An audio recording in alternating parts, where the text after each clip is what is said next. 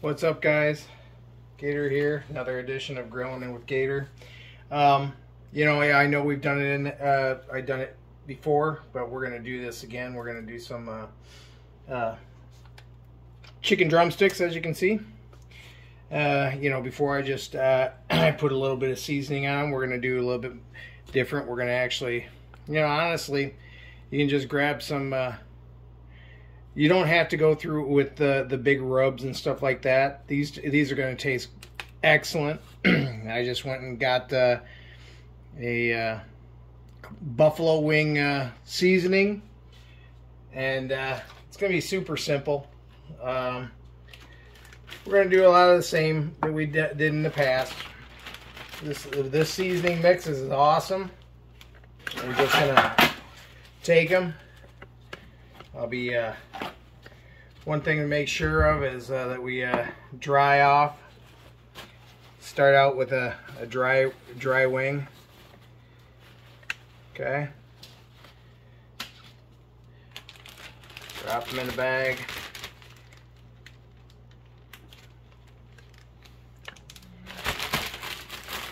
And again, I got two bags of the saw uh, of the of the mix. Shake it off. And again, that's fairly simple. Drying them off first. Dunk them.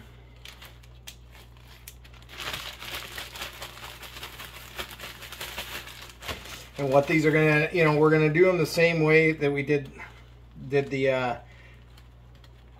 the the uh, wings the last time. We're gonna throw them in our with our Ninja Woodfire outdoor grill. We're gonna set them at uh, we're gonna on smoker mode, 350 degrees, and uh, we're gonna do them for they. It's only gonna take about a half an hour.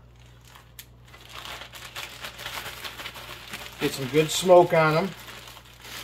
These also have, you know, like again, instead of, you know, just the smoky season, these are going to be buffalo style should really try it. You know, it, it, it just it's a different taste instead of the uh, barbecue style. Having a little bit of buff, having that buffalo wing kind of kicks it up a notch. Um, half an hour 350 with the with the smoke, then we'll turn around and the nice uh, again the nice thing about that Ninja is uh, I can then turn it off and switch it to air fryer mode for about yeah 10 minutes or so five minutes or so. Give it and that what that'll do is that'll take that that skin and that'll uh, crisp up that skin and uh, give us nice crispy skin smoked buffalo style uh, drumsticks. You know, done it. You can do that. You know, this is typically for like you know just wings, but again, you know, play with it, play around with it, and uh, that's what we'll do. So I'm gonna finish coating these, and then we'll be out and uh, at, at the uh, Ninja and uh, get him cooking. Back in a few. Okay, we're out here. Got our uh, Ninja plugged in, ready to go. We're going to be going to smoker mode. We're going to be going to change the temperature to 350. And even though we are, it's going to take about a half an hour. I'm still going to use the old, uh, use the uh, temp probe and one of the thicker ones because I just want to make sure that they're going to be good. But it'll take about, I've done them, it's going to take about a half an hour. So we'll end up going to manual. And then I'm going to cut them off at about 100 and, about 160 degrees is where I cut them off at. So 165, let's change it to one, uh, or was it 155? I think I take them to, yeah, 160 degrees. And then what's going to happen then is, you know, will be good at 160 degrees. You know, they'll be cooked. Uh, they are thighs, dark meat. They can so they can take a little bit more. So that's when when when you know smoker mode three 350 to 160 degrees. Then I'm going to turn around and turn it off. Turn it to the air crisp mode, and then air crisp them for you know like I said, about five minutes. I'll take them up to you know a, a, just enough time to crisp up that skin because you know on skin side up, crisp up that skin. That five minutes will then take them about to 175, 180 degrees. That's going to be perfect. Uh, not overdone. Still going to be juicy. Okay, so let's get our wings loaded. They've, you know, that coating is kind of sweated on a little bit. Got to find a as you can see, I'm using my mat, my grill mat that I, or you know, picked up, and uh, the grill mat along with the uh, uh, with the uh, uh, grate that I that I purchased. You know, again, you want to do it that way because we don't want to put anything on uh, anything on these on the you know the, the any metal on that surface you know they do not recommend it so obviously we don't want to do it. Kind of a little creative uh, tetrising here to get this to be able to get them all on be able to close that lid. But they do fit. I want to make sure there's some room in between so they can uh, Get some smoke all around them and underneath them. There we go. Second here to. I know I got gloves on, but just wipe off my hands here. I set my grill.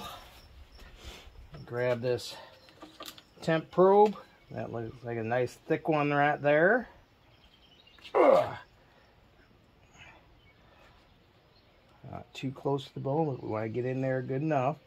Make sure that we're getting a good temp area. So, got it set manual mode. Let's get my pellets in. Again, we're really not going to use that many pellets. It's uh, definitely, I will have pellets left over for sure my half cup of pellets in there. Didn't even take a half cup. Don't even need to overflow that one. Okay, so smoker, 160, 350 degrees, and away we go.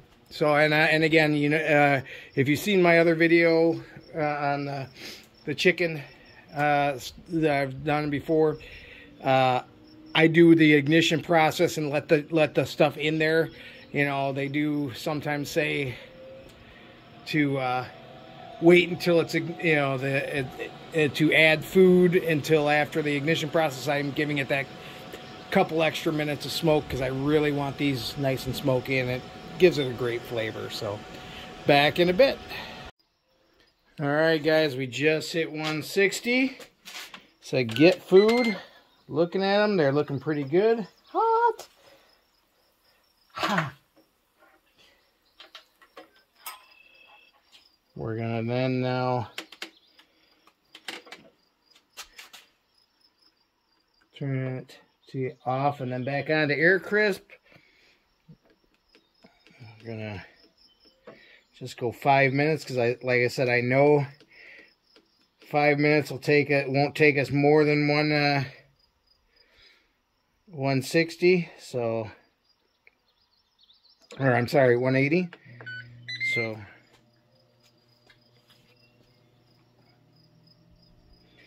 And since we, we're pretty close to that temperature now, I mean, shouldn't, uh, we can bypass the, uh,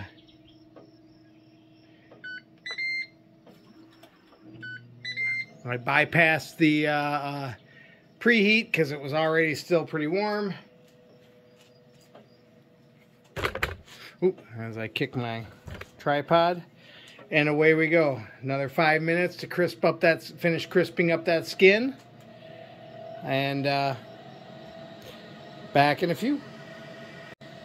Hey, we're back. Uh, one thing I wanted to show while we're still going here. Um, you kick it on the air fryer and you can really see the smoke just going. Uh, that also, that's another, you know, not only is it uh, crisping the skin, but it really starts pushing that smoke around in, the, in there too, giving it all that extra smoky flavor. So, yeah, like I said, another uh, uh, another minute on uh, here, a minute or so on this, and uh, and uh, we're gonna be done.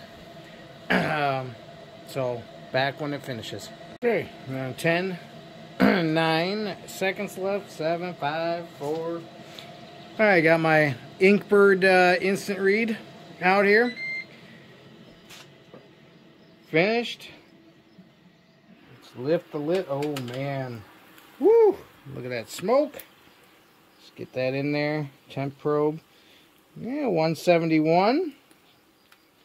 Some of these are a little higher. Looking pretty good. All right.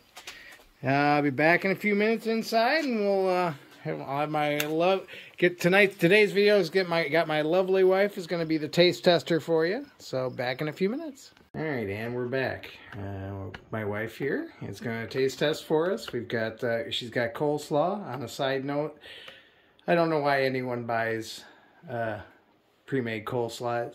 Coleslaw dressing is so easy to make. Uh, well, maybe I'll have to do a video or something on that. On that. You totally should. Let's give her, get her a uh, uh, one of the wings. Oh, that's okay. It's easier for me to get it. Hi, I'm mm. Mrs. Gator gonna taste these delicious uh, drumsticks and Gator is absolutely correct. this coleslaw, his coleslaw is wonderful. I love it. It's the best coleslaw I've ever had.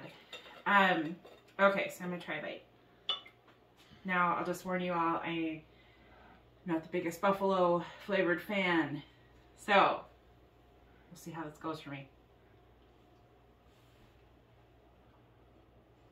Oh, I took too big of a bite. But, either way, the chicken is really juicy, really tender. Love it. It's got a nice smoky flavor. Um, the buffalo part is actually not overpowering, which is really good. So I give it a hundred percent. All right, for grilling with Gator, this is Gator and his wife. Uh, See you next time.